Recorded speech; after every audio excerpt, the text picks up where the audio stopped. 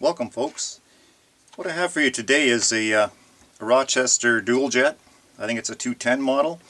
And what I'm going to show you today is how to get the idle mixture screws out of there because in these particular ones, this is a 1980 model off of a, a small block V8 that GM made, whether it's a Pontiac Olds, very similar to most of those ones at around 1980. Um, I'm just going to give you a brief overview of this thing for those of you who haven't seen one of these things before. It's basically a carburetor, mixes the air and the gasoline to make your engine go in the right proportions that is.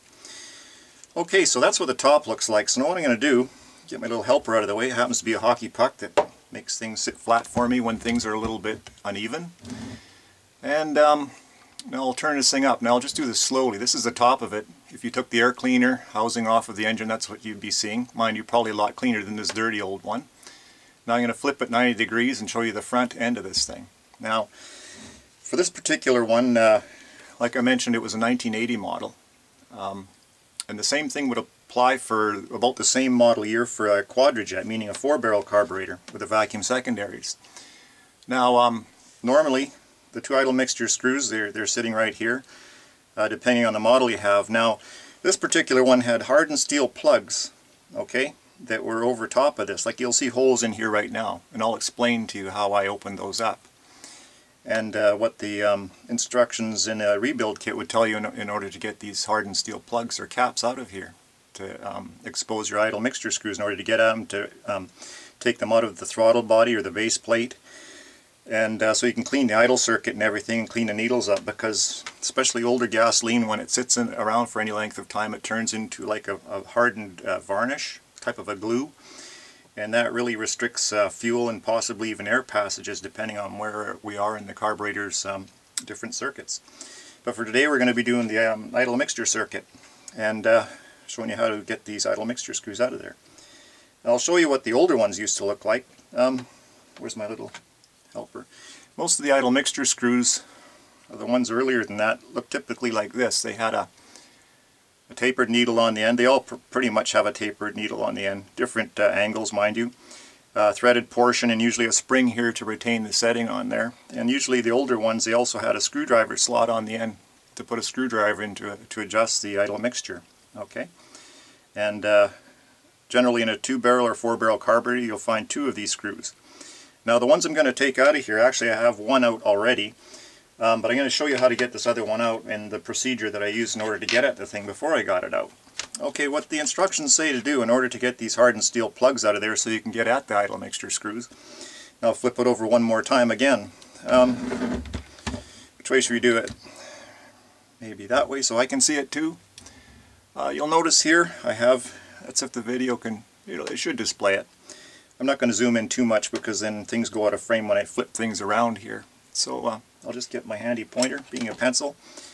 Uh, right here I penciled in two, two um, not penciled, but used a, a small felt pen, and there's two little divots or recesses here that are like holes. They're actually guide marks that are cast into the bottom of this throttle body here.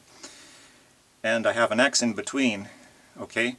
X marks a spot, kind of like buried treasure, but in this case it's, it's where you gotta basically get a hammer and a punch. This is what the uh, one of the rebuild kit instructions uh, recommended in order to uh, to get this hardened steel plug out. You actually have to destroy part of this um, the bottom of the throttle body here. So what they wanted you to do, from what I recall reading there, is take a punch and go between those two dots and then hit it a few times. Now make sure before you start any of this, if you go that route, and uh, I'm going to show you how to not to destroy it in a few minutes here, but anytime you're working around these things where parts may fly or little bits and pieces, especially this hardened steel plug stuff that's going on in here, you get a piece of that shrapnel flying around, it's, it's like uh, very damaging, especially to eyes. You know, usually your skin can repair itself over time, but do you start, uh, you know, sending metal towards your eyes, uh, that's not a very good thing. Okay?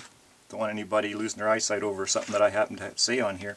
So always wear your eye protection and anybody who's in the near vicinity too. If they're watching you or whatever, make sure they've got some eye protection on too. Okay, so what they wanted to do, like I was mentioning with the instructions in the rebuild kit, was to take a hammer and a punch and then hit this, and actually I believe they said to break into where the, the steel plug is, okay? It's a short plug. Um, the shell of this plug actually I can display it here a little bit better. What's actually still remaining in there. I got a piece of copper tubing here. Now normally the plug, when you're looking at it on the front of the carburetor, it's, it's filled in in one end. You can't see, right? Okay, so this is actually smaller one of these, mind you, is pressed right in there with a solid end on, on this end here, so you can't get at the mixture adjusting, or to adjust the mixture screws rather, idle mixture screws. So that's what they look like, only a smaller version of this. Alright, so that was the the real destructive way of doing it. And after I, I read that, I actually had this carburetor sitting around and I was wondering, geez, what could I do um, without having to destroy these two portions here, taking part of the aluminum uh, throttle body base out, a big chunk. I mean, who wants to look at their carburetor with chunks missing? I don't. So what I came up with is, um, I'll flip it back this way now. So I thought about it, hardened steel plugs. Hmm, let's see now. We have a file, okay. Uh, file won't touch hardened steel it'll it'll file soft steel, so uh, file's out of the question. So then uh, I thought about it some more. You can't drill it; it's just too hard to drill. So what I did is I, I got out my uh, the high-speed electric grinder, also known as a Dremel, and I put a little grindstone on there. And what I did, like you see here, there's holes here now, right? These were solidly capped with that metal plug that I was telling you about, hardened steel plug. So I just took my time, put my safety glasses on, and I, I went to it there. Okay, so I, I actually had this apart, the carburetor's apart just with the throttle body and a vise, okay? You want to steady that up and then get two hands, right, on your die grinder or elect little electric grinder. And just keep grinding around on the end cap here, okay? And I just kept grinding until I actually broke through and uh, removed the, the end part of that cap. Like the steel part of the shell, much like this here, is still in the throttle body itself, okay? So um, that's how I got to doing this, to remove that, that the end of the hardened steel plug in order to uh, get at these idle mixture screws. I already have this one out, but what I'll show you what I came up with, okay, is a, um, I can actually show you the, the idle mixture screw that's out of this left-hand side here.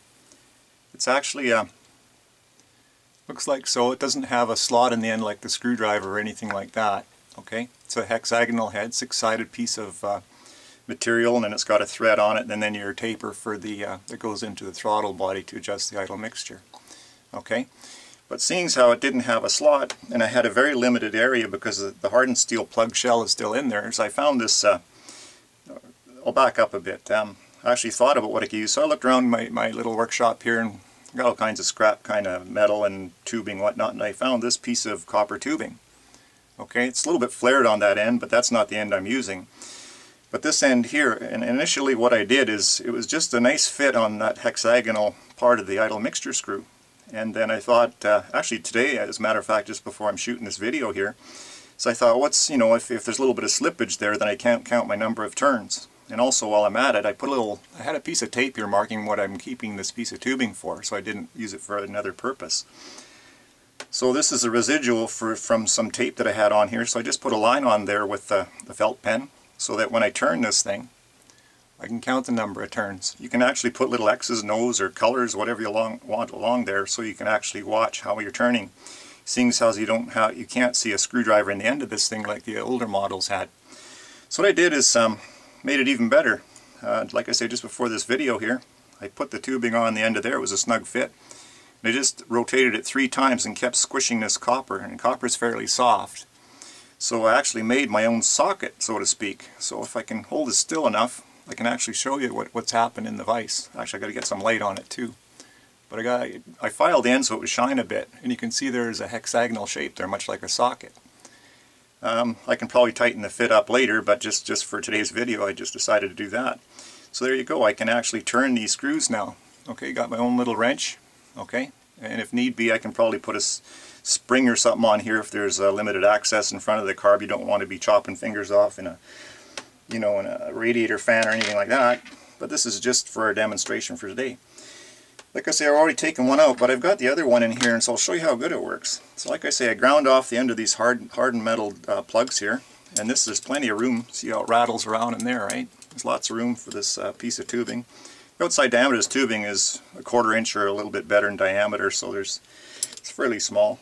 So I got my little homemade extension socket if you will and I'm just going to turn that and take this out of there. Like I say, once you get the end of those hardened steel plugs out of there, or if you do it the way they, uh, they recommend or say in the instructions is they want you to punch this and break a big chunk out of either side here between those two marks I was showing you. So we'll just unscrew this and we'll see what we have in here. Alright, so they've gone the extra mile with these too. Um, there's a little washer and there's a spring in there to keep, once you set your idle mixture screws, you don't want them adjusting themselves from vibration, heat, and what have you. What I'll do is I'll put a comparison up here for you. Okay, here's the actual one that came out. There's two sets of these, remember? Um, there's the spring that's going to roll on me like so, but I'll put them in their, um, their areas where they're going to go. This washer here goes right underneath the head of this hexagonal portion here. Alright, and here's what a regular one looks like. This one's out of a Holley one barrel, believe it or not, from way back when. But typically the older carburetors, they had a lar much larger screw in there with, like I say, a screwdriver slot in the end, so you could just get a screwdriver and um, just go ahead and adjust it that way. But this one, and also I have to mention too, I, I was thinking about cutting a hacksaw, uh, getting a hacksaw and cutting a screwdriver slot in the end there, but that was kind of a no-go. Apparently they used uh, some heat treatment or better steel, and it's a hardened steel uh, harder than I want to try to put a hacksaw through. It would hardly even file, so that's when I came up with this little do-it-yourself, or do-it-myself uh, idle mixture adjusting screw copper tubing hexagonal socket extension, if you will. How's that for a mouthful of words? I actually got them out in one shot. So that's what you're, you're faced with there. Now I'll take this one away just so we don't confuse matters. But there's two sets of these. One goes in here and one goes in here. The washer goes onto the threaded portion of the um, idle mixture screw with the spring following. So to put them back in, spring goes in first. Actually you can assemble this thing and if you're careful, mind you, you see in this video the camera is overhead. It's actually on the ceiling when you're looking down. So this would normally be sitting this way and I would be going in this way on the, on the bench this way, right? And so gravity wouldn't be uh, taking its effect on me. So digging those things out was harder than you'd normally do it because it would be laying flat on the horizontal plane rather than I got this thing pointing in the vertical plane up towards the ceiling. So that's what came what actually came out of here. One per side, there's there's what you have. And like I say, there's a tapered uh, there's a tapered section on the end of the needle. Hopefully I can hold it still enough, but that's that's the close-up there, right? That you see there. There's what they look like. Get the lighting on it. That seems to disappear. Very small. Because it's a hexagonal uh, shape on the end, six-sided. And it's just flat on the end. There's no um, screwdriver slot, like I was mentioning. So that's uh, how I came up with uh, the non-destructible way of removing the idle mixture screws in, in this uh, this one's a 1980 model. Uh, if you have something similar, you can do what I've done here so that you don't end up in, uh, destroying the bottom. Like I say, if you do it the way they say in the instructions in the rebuild kit, they want you to put a punch right where my thumbnail is there and break a section of this out to get at that hardened steel plug. But, uh, so that's what I came up with. See that? It's not damaged in any way. I can get at my idle mixture screws. Alright, so it's just a simple matter of putting, I won't put the spring on in there, okay? Um, I'll do one side here. Actually, I could I could show you how easy that goes, even in the vertical plane that I'm, I'm uh, videoing this. So just basically get your washer, slide it onto the idle mixture screw, then the spring.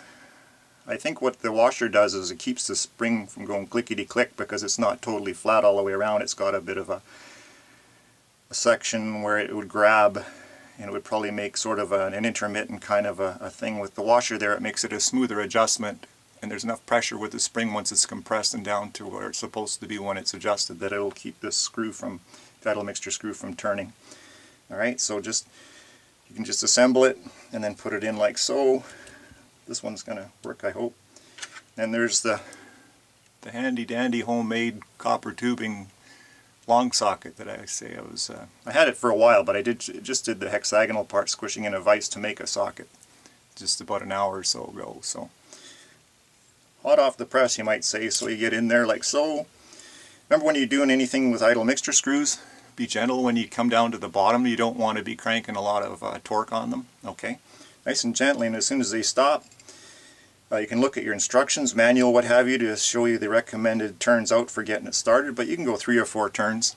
Doesn't matter because once the engine warms up, you're going to be adjusting anyway. You could actually go four turns. It'll be a bit rich, but you're not worrying about that because it's only to get the engine running and warmed up. Okay, so you can go three or four turns, take your pick so it's bottomed there, and like I say, I have a mark on here, and you can put as many marks as you want anywhere on this piece of tape, what have you. I just put one line with a felt pen just for a reference point. Now with the hex on here, it can be pretty accurate, especially once I squeeze this down a little tighter so it doesn't have so much uh, play in it when I, I torque it. Okay, so I'll, uh, I'll, I'll just go, um, what the heck, four turns out. I usually go three, but I'll go four. So my felt pen mark is here, so I just go one, two, three, and four. Okay, that one's done just to get the engine running. Mind you, this has got to be on the engine and assembled with gaskets and fuel lines and linkage and everything else. This is just on the bench. I was just basically showing you once you've got it cleaned and, uh, you know, all the new parts and rebuilt, then uh, it could be um, one of the last things you do. It can go any at any point. These things are protected once they're in there, once you got the cleaning and everything out of out of the way. So like I say, there's two on, on this. If you had a single barrel carburetor with much the same effect, you'd only have one idle mixture screw, generally speaking. Okay, but since it's a two barrel carburetor, or even in the case of a quadrajet being a four barrel carburetor, you're going to have two idle mixture screws. Okay, so there you have it for today, folks. That was my way of coming up without uh, destroying the throttle body on the, the bottom of this thing. It just looks prettier to me it's more professional than some guy going along and butchering the poor thing. But I guess um, that's what they had to do to keep uh, keep you and I out of there, especially the guys that are new to the game and don't know um, what's going on. It was it was uh, put there to keep the uh, probably the, the carbon monoxide level somewhere around about one half of a percent or 0.5 percent, if I remember rightly, the way these things were set up with the original gas back in the 70s, and in this case, in for the 80s uh, type of gasoline. Uh, another thing I'll just mention before I part company here is uh, the gasoline back in the 70s, I remember reading uh, a website or two a while back and it was saying that the gas of today as compared to the gas in the 70s was 3%, about 3% uh, leaner nowadays. So in, in, even some places I've seen they claim up as, as much as 5% leaner. They're putting like 10% uh, what is it, ethanol in there, which is alcohol alcohol itself needs to be usually jetted uh, twice as rich as gasoline from what I recall. Okay, so there's uh, my message for today, a little bit of everything included. Like I say, if you don't want to hit the X marks the spot and break your throttle body aluminum casting all the bits here where that steel um, hardened steel plug is, tamper-proof steel hardened steel plug is, you can you can do what I did. Just be careful with your eyes and people around you. And grinding is probably even safer than breaking these out. You get um, hardened steel shrapnel flying around. I mean, what would you rather have? A little bit of grinding dust or have shrapnel nailing somebody in the eye? So I'm going to do the safety approach for today. So there you have it, folks. That's my video for today. Take care. Have a nice day and uh, bye for now.